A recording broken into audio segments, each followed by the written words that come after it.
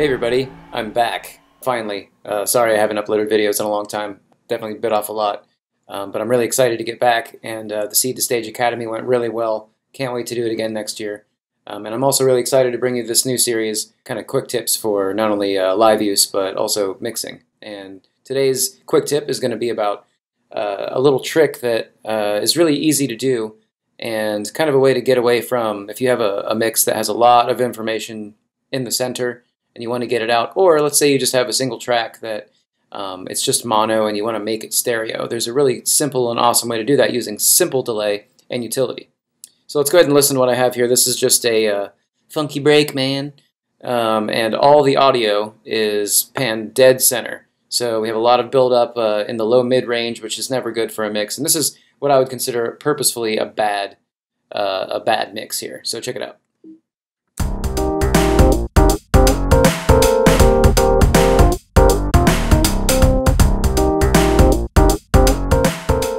As you can hear, there's uh, there's a bass line. I don't know if you can, you probably barely hear the bass line because the keys are making the same uh, frequency range as the bass. Um, and so what we need to do is try to get those two elements away from each other so that you can hear them both. Um, and one of the ways we can do that is by using uh, the stereo field. Uh, right now we're not really accessing the stereo field, we're just kind of listening to these instruments just on top of each other. Um, so let's go ahead and uh, grab a simple delay and drop it in. Now, right away, you are going to have to do a couple things in order to make this work. Um, stereo information, uh, things that sound wide, are the reason that things sound wide, especially if it's the same signal, is because of delay. And let me explain this a little bit. If the speakers are doing something at the same time, you're always going to hear the audio in what sounds like the center. Okay? When one speaker is louder than the other with the same sound, you're going to hear it panned. Okay?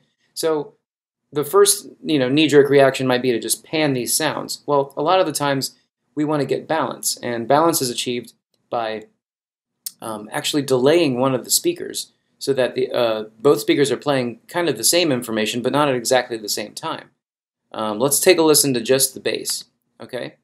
And what I'm going to do is I dropped this simple delay here, and I'm going to turn the dry wet all the way up, okay? And the next thing I'm going to do is I'm going to unsync the delays. Right now, these are these are two separate delay lines, okay? And if I unsync them, their default setting is 100 milliseconds. If I drag this all the way down to 1 millisecond and drag the other one all the way down, um, I have, this is what I have. I basically just have the same signal, but it's a millisecond slower. Let's just listen to this. So, okay, we haven't solved any issues yet. What we can do though is we can delay one of these and you're going to get this magical, magical sound where all of a sudden the uh, it's going to sound extremely wide Okay, so let's just go ahead and increase this right delay time. Right away, just one millisecond difference, and it sounds like it jumped all the way over to just the left side. But as I increase this,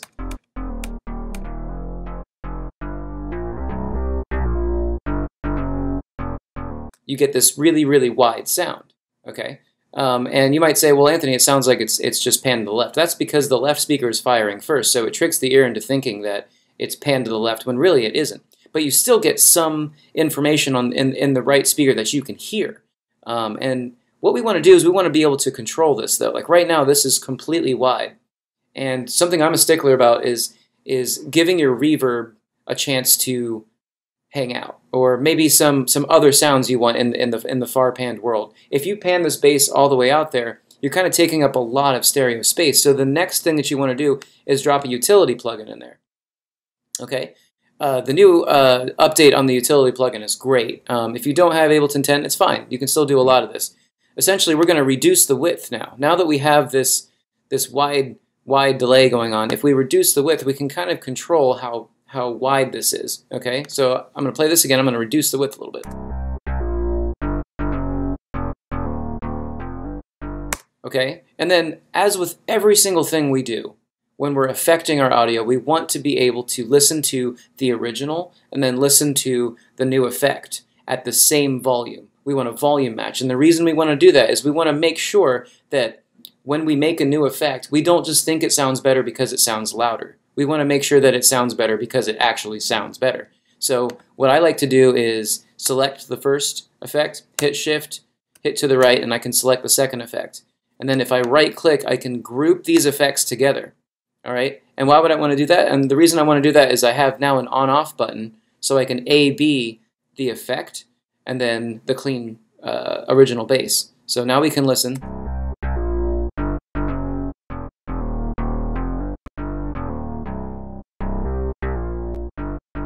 Okay, so it sounds pretty close in volume. What I've noticed about whenever I, uh, especially if the width was, was wide open, let's listen to that.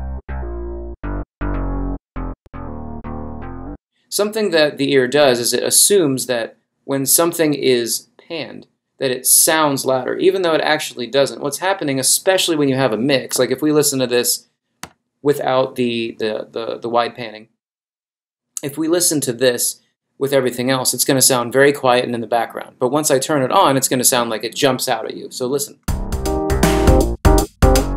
Listen to the bass, I should say. So here we go. See how much louder the bass sounds?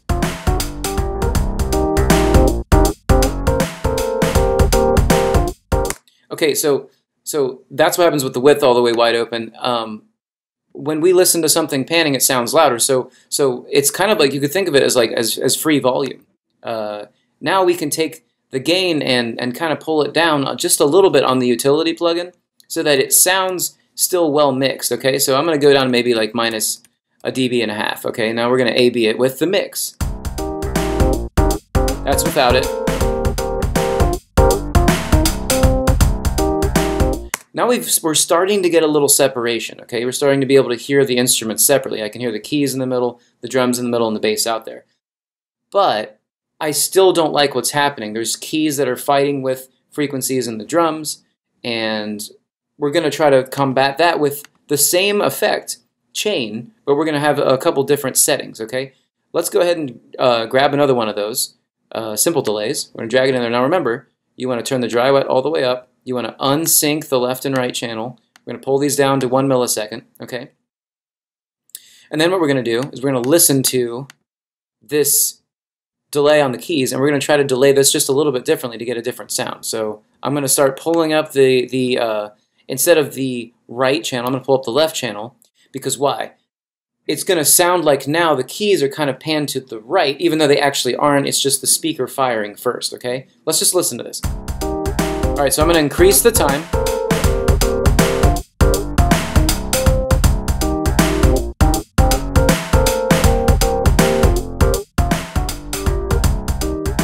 So I like that sound around 8 milliseconds on, on the left-hand side.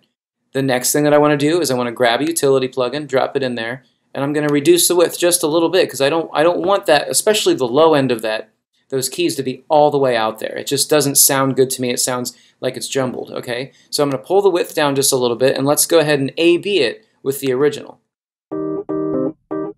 Remember, I also have to select both of these. You can also, uh, I did, did the shift before, you can also hit Command or Control and click the second effect, I'm sorry, Shift.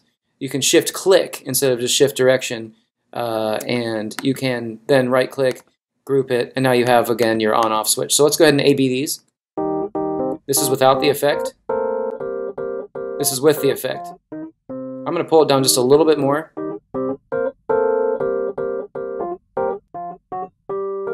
So that sounds good. And, and now let's let's talk about uh, let's actually go ahead and play these together. This is the bass and the keys without the drums.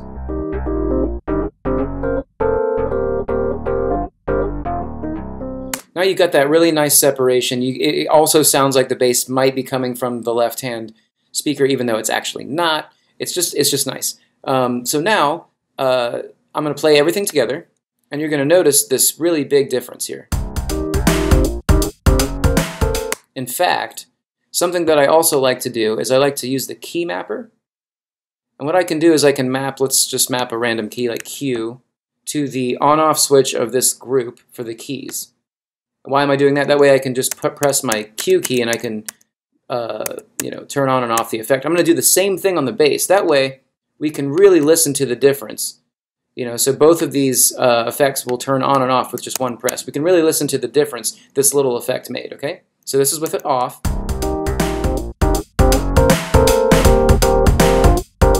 Now this is with it on.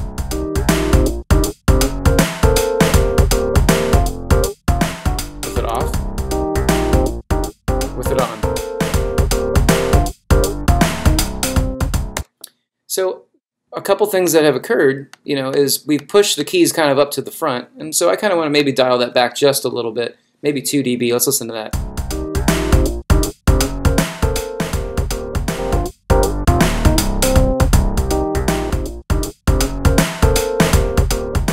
Now to me that sounds like a, like a balanced rhythm section. Maybe the drums are a little loud, that's okay. So what I also want to do is I'm listening to this bass and I have a lot of bass information that's that's that's really wide. So if you have Ableton 10, something that they changed about the utility is now you can you can make the bass mono. Essentially you can take under this shelving frequency, uh, by default it's 120 hertz. You can actually take the low end and make it mono. And one of the reasons you might want to do that is that it takes a lot of energy to make bass. So sometimes it's better to have both speakers doing exactly the same thing when they're trying to make bass. So the, the audible effect of this is, and you might need headphones to hear this or high-end studio speakers, let's go ahead and listen without it. And if I turn the bass mono on,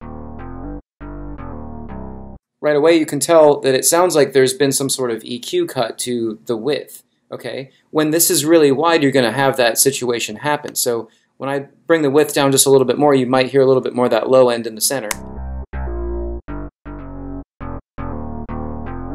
And if it's all the way wide, you're not going to have it at all. So a good thing to do is to try to find a balance. That's what you're looking for. And remember, always use your AB. You know, it sounds like there's somewhat of a, a low end reduction. Maybe this isn't the frequency that we want, so you can just click on this and move this. Let's listen.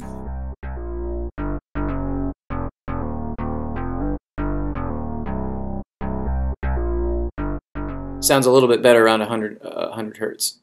Okay, so yeah, that's that's the simple delay trick to get a lot of width out of a out of a mono channel. Okay, use this profusely. It's really it's really fun. Uh, I, it's it's been a trick I've been using ever since Ableton like three or four, um, and it's it's just really useful. Thanks for watching, everybody, and look forward to a lot more videos coming out uh, more frequently. Uh, thanks so much for all the support. Like, comment, subscribe. Love you. See you next time.